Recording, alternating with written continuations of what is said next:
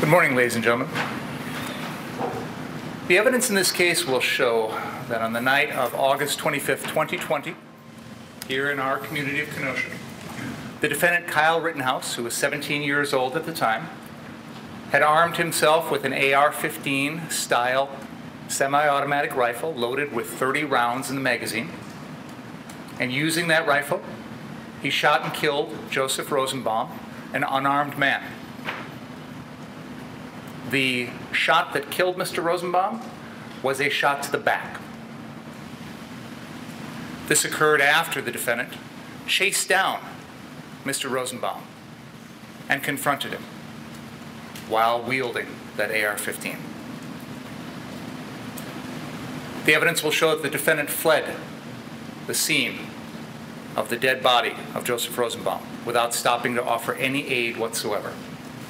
And as he's running, word spreads from the crowd on the street that there is an active shooter running through the area. And the citizens there attempt to stop him. They approach the defendant. They, one person hits him in the back of the head, one person takes a swing at him with a skateboard. That individual is Anthony Huber. Eventually, the defendant loses his balance and falls to the ground. An individual who is the subject of count number two, the unknown individual, runs in at that point and attempts to kick the defendant in the face while the defendant is on the ground. This unknown individual is unarmed. The defendant, in response, points his AR 15 directly at this individual as this individual is literally flying over his body and discharges that gun twice. Luckily, that individual was not hit. But clearly, if he had been hit, the wound would have been severe and perhaps even fatal.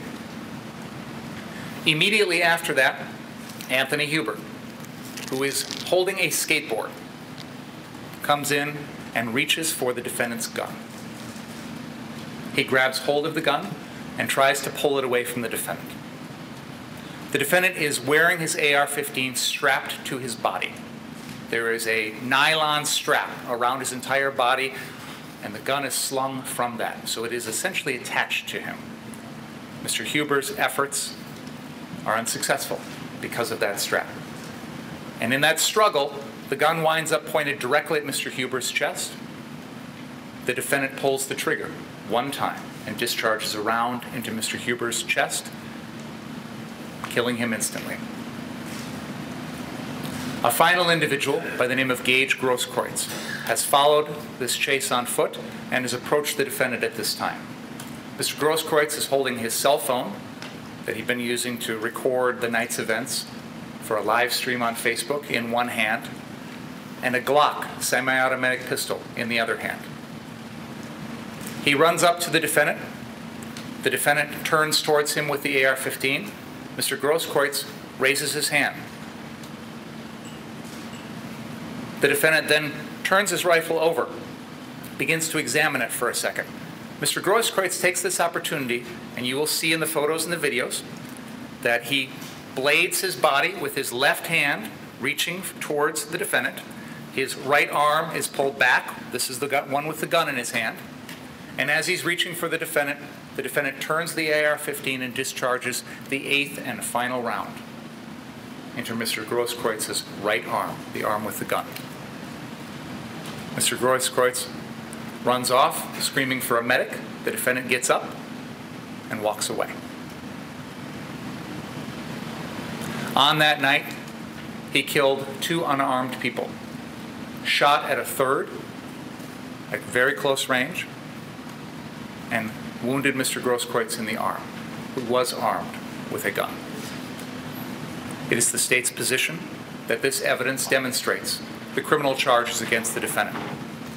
His intentional homicide of Anthony Huber and his uh, reckless conduct towards the other defendants. Now, what I've just given you is the snapshot, but there's a wider context here. As we all discussed yesterday, this occurs during the context of the events following the shooting of Jacob Blake, which occurred on Sunday night, August 23rd, 2020. And we all know that within a short period of time after that, the community erupted in protests. looting, rioting, arson, and violence. Sunday night and Monday night were two of the roughest nights that our community has ever seen. We are well aware of the damage that the uptown area along 22nd Avenue suffered. The probation and parole office on 60th Street, the furniture business there, Car Source, one of their locations on Sheridan, and other properties around town that were damaged. Fortunately, in the entire sequence of events, this was all property damage. And one of the things we all agreed on yesterday is life is more important than property. Up until Tuesday night, despite all the things that the community had experienced, no one had been killed. But what happened as the time went on was that the people of Kenosha, who felt a sense of outrage, began to protest. But like moths to a flame, tourists from outside of our community were drawn to the chaos here in Kenosha. People from outside of Kenosha came in and contributed to that chaos. And it caused many of our citizens to fear for their safety fear for their homes and their families, fear for their businesses, and take steps to protect themselves. Whether it is to arm themselves, board up their windows, move, or take time away from the community, all of those reactions were entirely understandable and reasonable. And no one here is going to tell you otherwise. As long as those are what you're left doing, there's no issue. But out of the hundreds of people that came to Kenosha during that week, the hundreds of people that were out on the streets that week, the evidence will show that the only person who killed anyone was the defendant, Kyle Rittenhouse. The evidence will show that hundreds of people were out on the street experiencing chaos and violence, and the only person who killed anyone was the defendant, Kyle Rittenhouse. We will show you videos of some of the events that night of police, tear gas, rubber bullets. And yet, the only person who killed anyone was the defendant.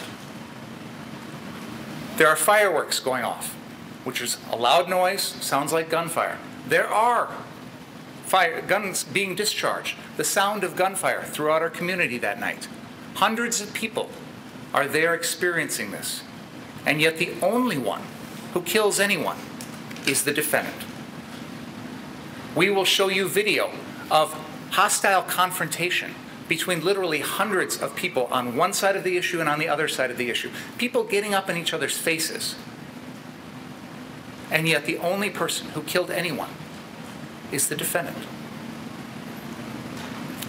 Hundreds of people experienced those nights, experienced the night of August 25th, experienced that chaos. Hundreds of people. And yet the only one who killed anyone is the defendant, Kyle Rittenhouse.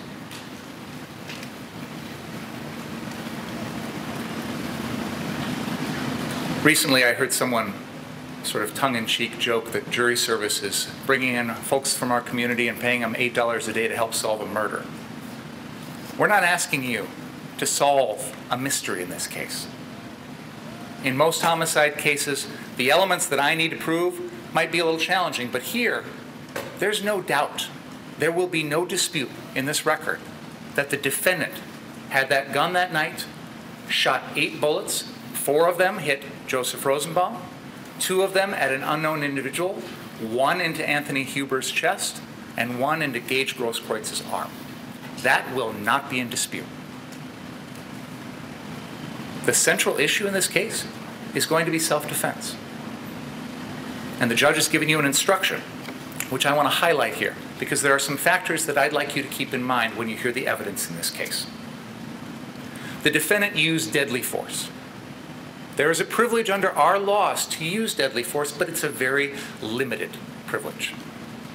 That privilege, according to the law, indicates that the defendant can only use deadly force if he reasonably believed that the force was necessary to prevent imminent death or great bodily harm to himself. In determining whether or not those beliefs were reasonable, the standard is what a person of ordinary intelligence and prudence would have believed in the defendant's position under the circumstances that existed at the time of the offense. The reasonableness of the defendant's beliefs must, must be determined from the standpoint of the defendant at the time of his acts and not with the benefit of hindsight.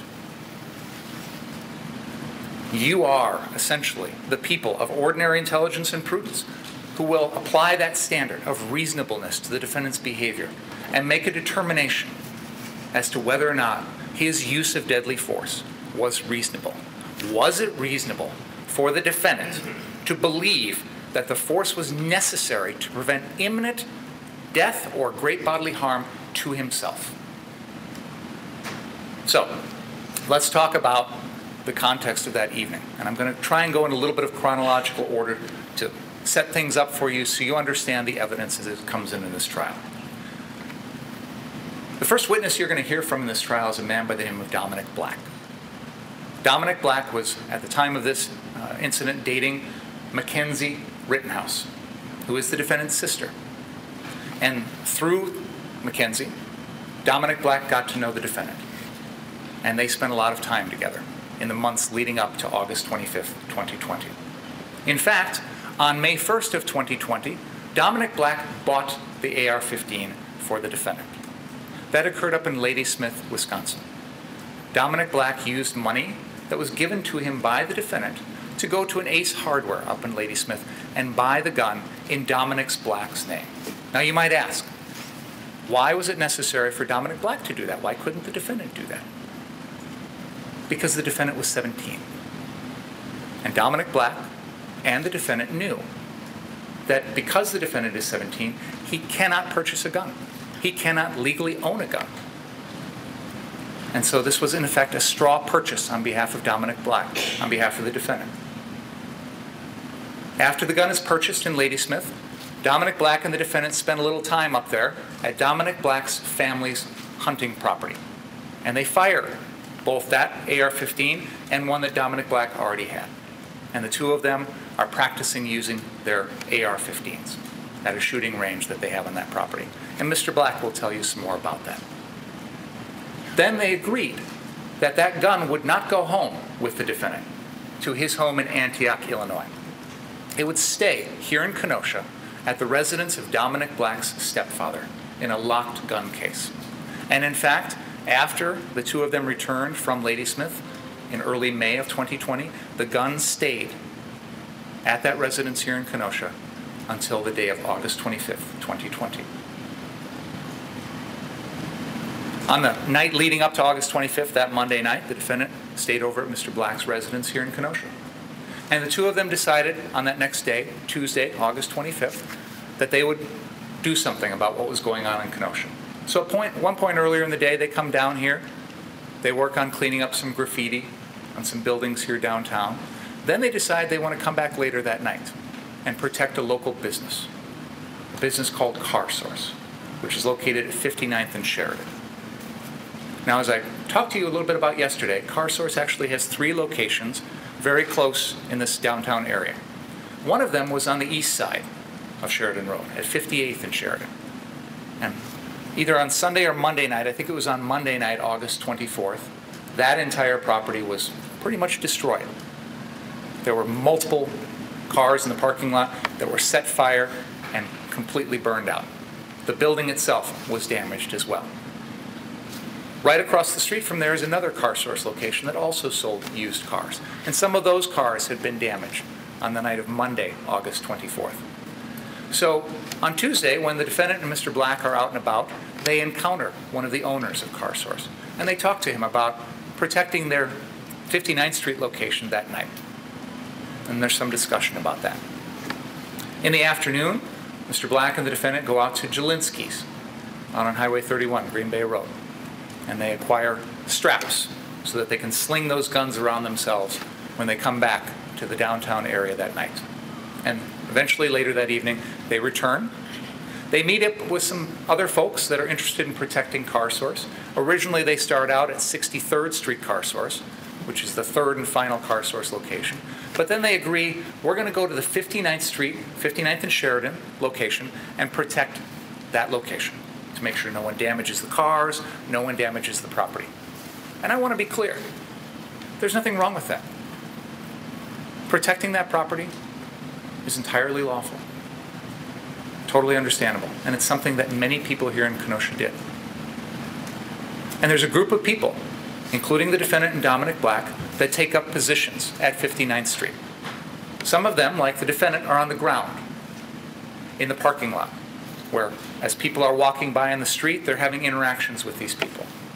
Dominic Black will testify he took up a position on the roof. He did that because he didn't want to be on the ground, close to where other folks were, close to where potential issues might arise. He wanted to stay a little bit removed from all of that. Didn't want to get directly involved in it.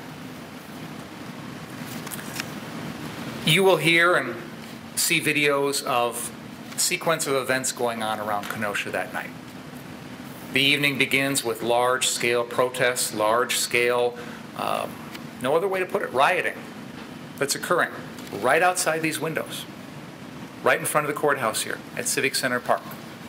There is a crowd of police that have lined up to protect this building, to protect the public safety building, which is right next door. And there are a large number of protesters that are agitating. They are screaming at the police. They are throwing projectiles. Police are shooting rubber bullets, tear gas, etc. It is a very volatile situation at Civic Center Park. Now, that's at 56th and Sheridan, about three blocks north of the car source where the defendant was. But as the evening goes on, the police decide to move the line of protesters south on Sheridan. And eventually, they pass the car source at 59th and Sheridan. The police establish a line at 60th and Sheridan, one block south. Now, as that process is going on, many of these protesters pass by the defendant and the people that he's with at 59th Street. Words are exchanged. There is confrontation, there is a little bit of hostility. No one is hurt. No one fires a gun. No one is injured. But clearly there's antagonism. It is clear that this is a crowd that is not on the same side as the defendant, that does not see him as an ally, does not see him and his group as someone that they identify with. And as I said, there is a hostile exchange there for a while. In fact, at one point, members of the crowd pull one of the dumpsters from the property out into the street and attempt to start it on fire. And some of the other folks that are there with the defendant go out and put the fire out and have some very harsh interactions with those people in the street. I believe the evidence will show that it is this process that demonstrated for the defendant that this is a crowd that is not a safe crowd to be in. This is a crowd that does not view him as an ally. This is a crowd that if he ventures out into it, there could be problems. Now, once the police pass by and the protesters are pushed down south of 60th, I believe the evidence will show that the car source that the defendant is stationed at is no longer in danger. There's no one there who's attempting to damage the property. There's no one there who's going to do anything to harm anyone there. The situation has moved on. Does the defendant stay there? Does he decide that he's done what he set out to do and it's time to go home? No. The evidence will show that the defendant another individual in the group by the name of Ryan Balch, who you will hear from, decide to venture out into the crowd. They cross the police line at 60th and Sheridan, and they walk amongst this group of hostile protesters. At some point, they both wind up at a gas station on the southeast corner of 60th and Sheridan called Ultimate Gas. And you'll see some video of the scene there. It is a scene, again, of groups of people that are clashing with one another verbally. There's some shoving going on. And in the midst of this is Joseph Rosenbaum. And you will hear some testimony about Mr. Rosenbaum and his activities that night. Mr. Rosenbaum had been discharged from the hospital that very day and had come back to his home of Kenosha, had met up with his girlfriend, Carrie Ann Swart. He couldn't stay with her, so he left her and came downtown and got caught up in the midst of these protests. You will see him on videos. You will see photographs of him as he's walking around. He is carrying a plastic bag. Part of that plastic bag is clear and see-through. It has a string, white string drawstring to it. It is the type of bag, I believe the evidence will show, that you get at the hospital when you're asked to put all of your personal possessions in a bag. Your shoes, your watch, your phone, your jewelry, etc. That's the type of bag it is. And I believe the evidence will show that he was carrying it around most of that evening. And at various points, the evidence will show that Mr. Rosenbaum is agitating. He is getting in people's faces. He is using obscenities. He is essentially daring people to respond. In fact, at Ultimate Gas, I believe the evidence will show that he actually gets right up in the face of armed people who are similarly armed as the defendant, who have similar AR 15 type rifles on. And he is literally confronting them in their faces. None of those folks shoot him. They push him away. He's five foot three, by the way, 150 pounds. They push him away. No one appears to take him as a serious danger. The defendant is at the ultimate gas station during part of this, so is Ryan Balch. I believe Mr. Balch will testify that there was an understanding that when we cross south of 60th, we stay together. We try not to intervene in anything. But if we get separated, head back to 59th Street, where our original group is. Mr. Balch does. The defendant attempts to. He comes up to the police line. They won't let him pass. He says, I work at that business, and points to 59th Street. And again, they won't let him directly through the line. Now, I believe the evidence will show that he could have easily gone a block in either direction if he really wanted to go back, but he turns away from the police line, returns to the ultimate gas station. And a few minutes later, we see him on the video of a man by the name of Corey Elijah, who will testify very shortly here in this trial. Mr. Corey Elijah was one of these people out on the streets who was Facebook live streaming the events of that night. And he catches the defendant passing right in front of him with a fire extinguisher the gun still slung around his body, strapped to his body. And Corey Elijah will testify, this caught his attention. What, where's he going with this fire extinguisher? And so Corey Elijah decides to follow with his video, recording the entire way. And we will show you that video. You will see that as Corey Elijah leaves the ultimate gas station at 60th and Sheridan and heads south, he passes by the defendant, who by this point is walking holding a fire extinguisher in his hand, all by himself. Corey Elijah, I don't think registers that that's the person I originally saw, and he keeps on passing him. And as he continues, he passes by Joseph Rosenbaum, who at this point has taken his shirt off. He's got shorts on, and he's taken his shirt and kind of wrapped it around his head. And Mr. Rosenbaum is still carrying that plastic hospital bag and walking down Sheridan towards the 63rd Street car source. The defendant is behind him at some distance. As they get down to the 6200 into the 6300 block of Sheridan Road, that block on the west side of Sheridan has a house right at the corner of 62nd and Sheridan. And then on the south end of that block, the south half, is the car source lot. You will hear testimony from someone from the FBI who was up in a plane that night taking video. And we will show you the video. It is an infrared video, which means it picks up heat. This is at nighttime, so regular cameras, especially from an airplane, aren't going to be able to see everything. So the infrared helps us to see in the dark. The video picks up Mr. Rosenbaum. It is quite clear to see him because he is a white blob. Infrared picks up heat. He doesn't have his shirt on.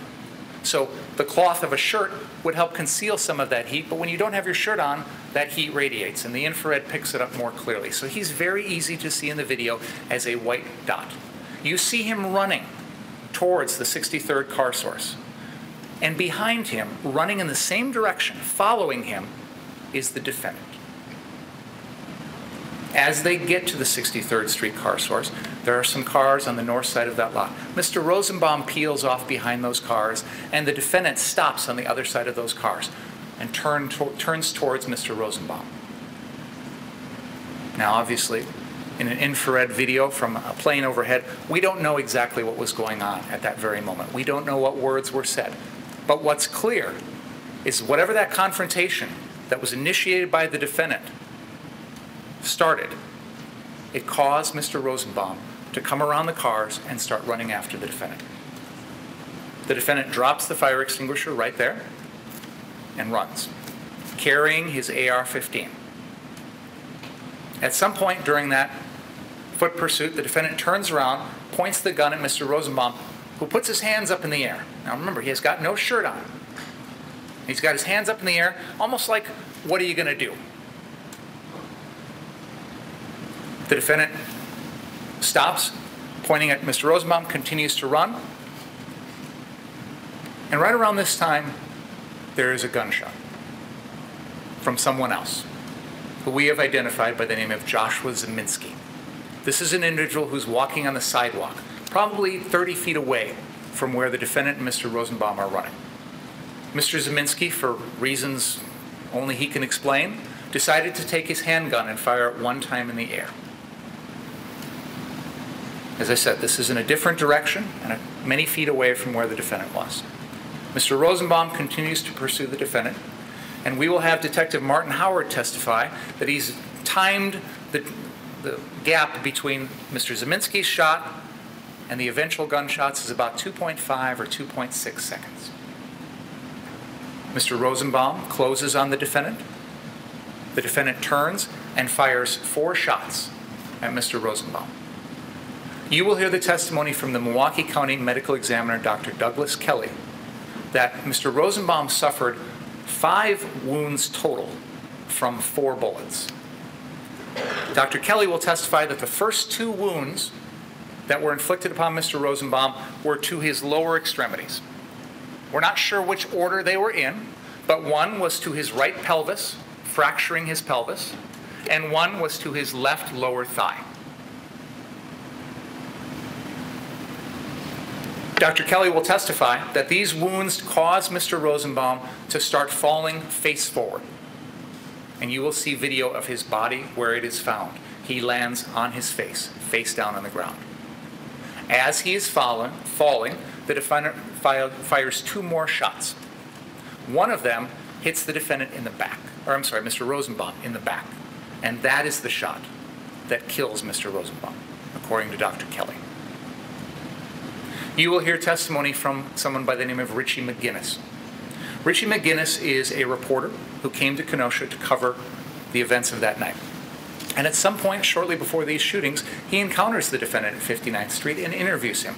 He talks to the defendant and then follows the defendant down Sheridan Road and is right behind the defendant as these shootings are occurring. In fact, he is in the car source lot. He is behind Mr. Rosenbaum when Mr. Rosenbaum is shot and Mr. McGinniss will testify that one of those rounds came close to him, which is the basis for the count that we've alleged that Mr. McGinniss was uh, recklessly uh, harmed or, or placed in danger by the defendant. Mr. McGinniss will testify that when he saw Joseph Rosenbaum shot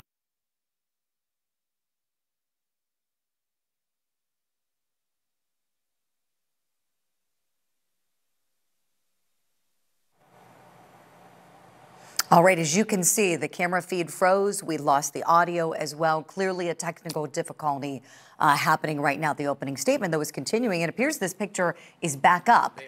And there's the audio. Let's listen. They carry him across the street to Froedtert South, formerly known as Kenosha Memorial Hospital, KMH, which happens to be right across the street. These folks load him into a hospital SUV that's there in the back of it and it races off towards the emergency room to try and save Mr. Rosenbaum's life. That's what Mr. McGinniss does.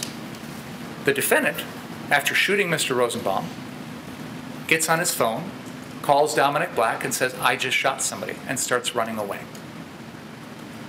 Now, one of the things that you will see and hear in this case is that the defendant, throughout this entire evening, held himself out as an EMT, as a medic, that he's carrying a medical bag with him, strapped to his body. And yet, in this time of Mr. Rosenbaum there on the ground, injured.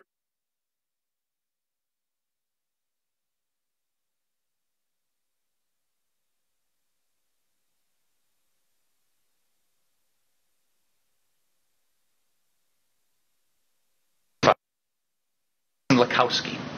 Jason Lackowski is similarly armed. He's a former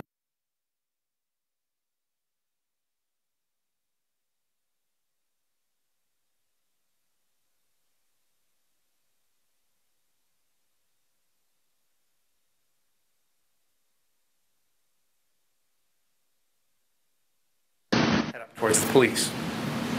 So the defendant starts running north on Sheridan. The crowd starts yelling, That guy, the defendant, just shot somebody. Because that's all the knowledge they have at that point. And it's true. So they begin to chase after him. They clearly believe he's an active shooter, and they try and stop him. And I've already described to you the events that follow. Mr. Huber, the unknown individual, and Mr. Grosskreutz. So, when we talk in this trial about the nights of August 25th, we need to keep in mind the context of that night. We need to keep in mind the fact that there were hundreds of people on the street that night experiencing the same chaos, the same loud noises, the same gunfire, the same arson, the same tear gas, the same hostile confrontations with people who believe the opposite of them. And yet, out of these hundreds of people, only one person killed anyone that night. Only one person shot anyone that night. When we consider the reasonableness of the defendant's actions, I ask you to keep that in mind. Now, in this trial, you are going to hear from a number of witnesses from the state. I've already told you about a few of them. We are going to begin the testimony with Dominick Black, and he will tell you a little bit about the acquisition of those guns. You will hear from Corey Elijah, who was live streaming the events that night. You will hear from Detective Martin Howard, who worked diligently to gather evidence, including many different videos, many different uh, photos of the scene that night. We are going to use that television to show you these things so that you can see them yourself. I know many of you alluded to the fact yesterday that you've watched or read things about this. You will get the full story here in the courtroom, and you will see some things that have not been made public yet.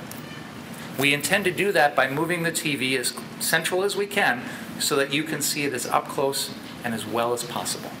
And we will show you as much as we can about those night, about that, the events of that night.